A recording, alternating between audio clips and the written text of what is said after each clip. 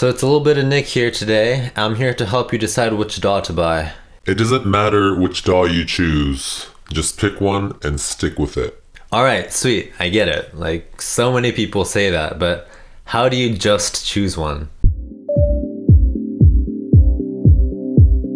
September 6th, 2016 at 1.24 a.m. That's when I bought my first DAW. I pretty much spent most of the time in August, which is the month before I bought it, researching about which DAW to buy. So many people will say, you just choose one, there's no best, they're all good. You just have to pick one and learn it. Alright, sweet, I get it. But I'm here dropping 500 bucks on a piece of software. I don't want to be spending $600 buying Cubase and deciding that I want to get Pro Tools three months down the line. So I want to share with you guys how I decided on one DAW. The DAW that I chose may not be right for you and the DAW you chose may not be right for me. But these are little things that I considered when I decided to buy Ableton Live. Okay, so here's the big secret, alright? You rule out the ones that you don't vibe with. There you go, I said it, that's the secret right there. So here are the main options that you have when you're buying a DAW. The first one is obviously Ableton Live, that's the one that I got. Other very popular ones are Avid's Pro Tools, Steinberg's Cubase, Propellerhead's Reason, PreSonus has Studio One, Apple's Logic Pro, FL Studio, Reaper by someone. Reaper is actually Kukos? Kukos? Cocos? Kukos? Kukos created Reaper. I, I didn't know that. So after spending an insane amount of hours on forums and YouTube, here's a few key points that I found for each DAW. Ableton Live's strong spot is for DJing, live music, and also creating music. But a lot of people seem to complain about the sound, that sound engine isn't as good, but to be honest, don't even worry about it. That very, very, very slight possible decrease in audio quality compared to other DAWs is just ridiculous because if a pro mixes on any DAW, it's probably gonna sound better than the best DAW for you. That, that came out wrong. If a pro makes a song in Ableton Live and an amateur makes a song in Logic, the song in Ableton Live is still gonna sound a lot better. Don't even worry about it, Ableton sounds fine the way it's laid out, it really helps creativity and how it really helps you make songs. Creating new content using MIDI is probably Ableton's strongest point. So Logic Pro is very affordable compared to its competitors. The one caveat is that it's only for Mac, so if you are a Windows user, unfortunately you can't use Logic Pro. However, the stock virtual instruments in Logic Pro sounds amazing, if not the best, compared to its competitors. There's also Studio One, and the artist version actually comes free with PreSonus's audio interfaces. So if you don't have a sound card and you're looking to buy a DAW, PreSonus is a great way to get started because you get two for the price of one pretty much. People seem to like their scratch pad feature. I don't know exactly what it does, but people seem to really like it. So it's to be worth taking a look at that. So Reason comes as a suite for a lot of virtual instruments and the way it's laid out, it imitates the analog gear as far as I understand. So if you're used to using an analog console, this is gonna feel right at home for you but it may be hard for those of you who's just starting out to learn how to use it. And as far as I know, I think you can use Reason as a suite of plugins within other DAWs. So you can use Reason within Ableton, for example. I'm not too sure, but I think that's true. Right, Pro Tools is like the biggest DAW you can find. It's the industry standard, and if you're going to be working in the business, you should probably learn this. Everybody says this, and I agree. I was looking for job openings for audio engineering in Tokyo and they all required the skill to use Pro Tools. So if you want to get a job doing this, consider using Pro Tools. I think Pro Tools is great for tracking live instruments and also pretty much every professional mixing engineer or mastering engineer uses Pro Tools to mix and master.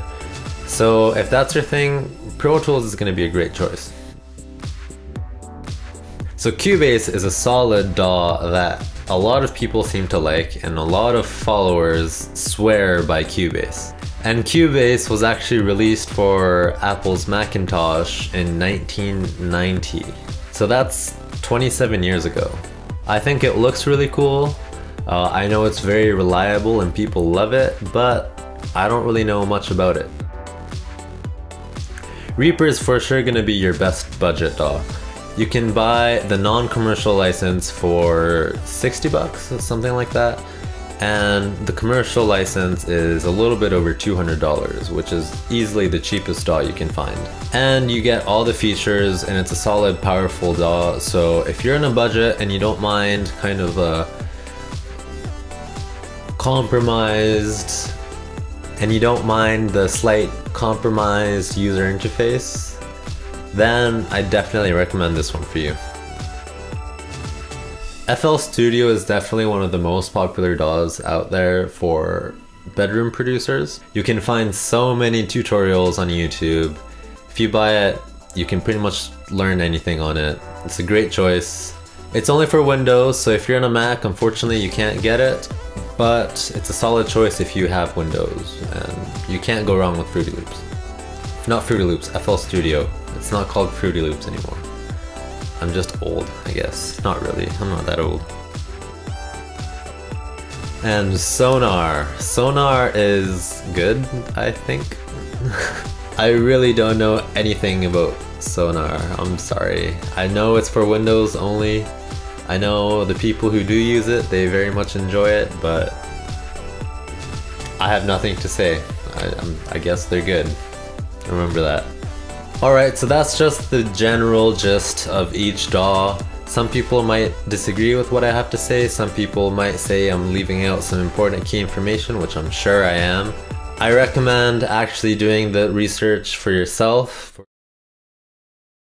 With all of this in mind, I ruled out FL Studio and Sonar because I use a MacBook Pro, so I can't buy Fruity Loops or Sonar. I also ruled out Logic Pro because I actually have a Windows desktop back in Canada. I actually currently live in Japan as a side note. I was looking for software that's cross-compatible with Windows and Mac OS.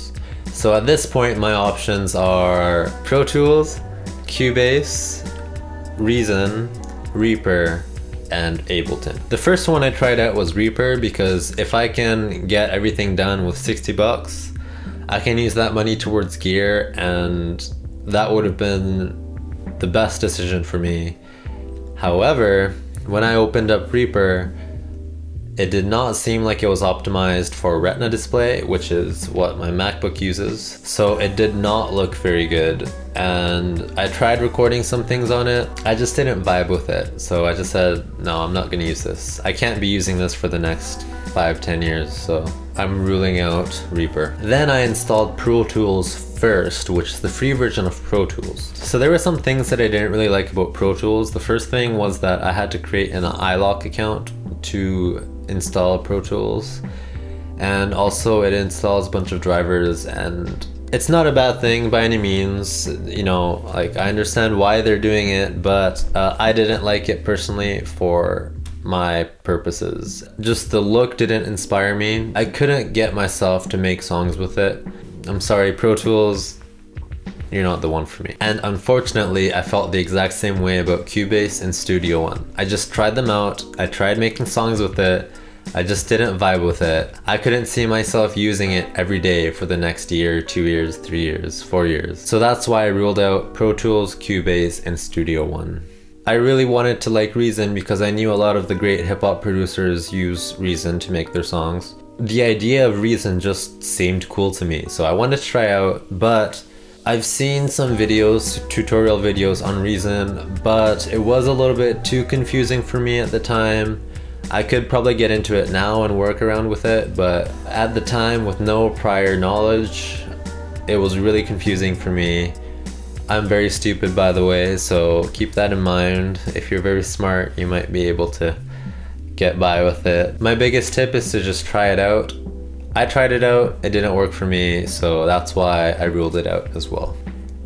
So I installed Ableton Live Lite, and on Ableton's website, they have these tutorials for basic usage. And I had watched those videos from start to finish, and I tried making a song and it just clicked with me. It's not that there's special tricks to it that helps you make songs, it just I just vibed with it. You know, it's just a gut feeling thing. I just liked it. So I tried out their Ableton Live Suite, their 30 day trial, because that's what they have. And I used it for maybe about two weeks or so. I kept making songs with it and I just loved it. So that's when September 6th, 1:24 a.m. I made the purchase, middle of the night, I remember. And just a little side note, if you're trying to decide between the intro, standard, and suite, I did another video where I explain my thoughts on which one to get.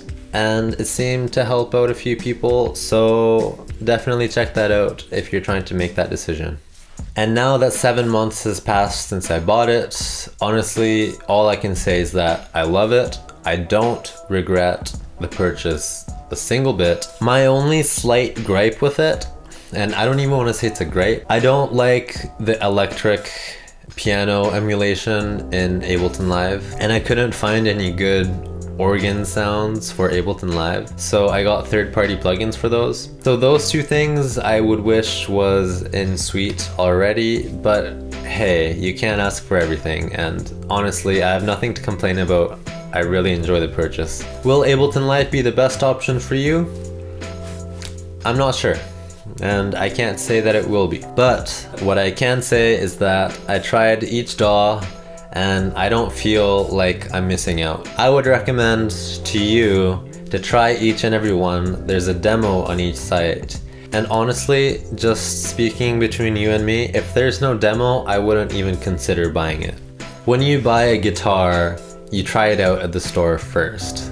It's the same with the DAW. You try it out first. If you like it, you keep it. If you don't like it, you rule it out. So definitely if you decide on one, let me know in the comments below because I'd love to know what you got. And if this helped you out, leave a thumbs up or subscribe. And man, I hope you enjoy your new purchase. I'll catch you guys later. Have a nice day or night or morning or whatever you're having. Take care. Bye.